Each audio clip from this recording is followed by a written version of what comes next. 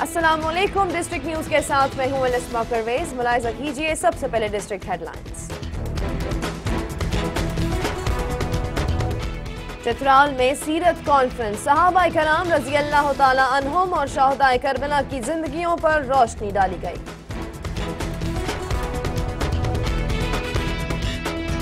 کلات میں Balochistan students organization کے زیر اہتمام تعلیم کی اہمیت اجاگر کرنے کے لیے سیمینار شرکا نے بلوچستان کے نوجوانوں پر تعلیم کے میدان میں آگے بڑھنے پر زور دیا۔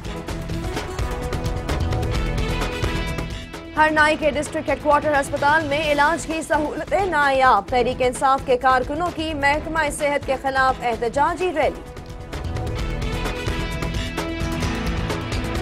درائے آدم خیل میں لیویز کی کارروائی جعلی کھاد بنانے والی فیکٹری پکڑی گئی۔ سینکڑوں بوریاں جاری کھاد برآمد کر کے آٹھ افراد کو گرفتار کر لیا گیا۔